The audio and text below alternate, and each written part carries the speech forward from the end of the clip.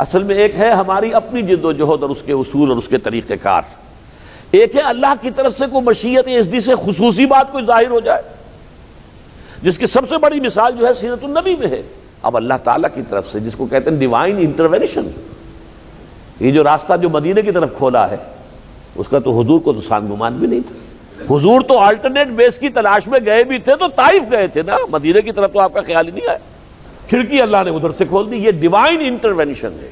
वरना ज़ाहिर बात है, अगर मदीने से खिड़की ना खुलती, पहले साल छः अगले साल बारह, उससे अगले साल पचहत्तर आदमी ईमान न ले आए होते, और फिर वो जो बैत अकबा सानिया ना हो जाती, जिसमें तय किया गया कि अब आप आ जाइए हमारे यहाँ, हम आपकी हिफाजत करेंगे जैसे अपने अहलो अयाल की करते हैं।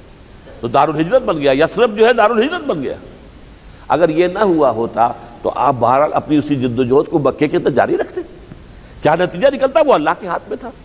लेकिन ये जो भी एक डेविएशन हुई है, ये खालिश डिवाइन इंटरवेंशन है। मैं ये चाहता हूँ कि मेरे साथी अच्छी तरह इसको समझ लें। जब तक कोई डिवाइन इंटरवेंशन नहीं आती, हमें अपने उसी नहज के मुताबिक काम करते रहना करते रहना करते रहना।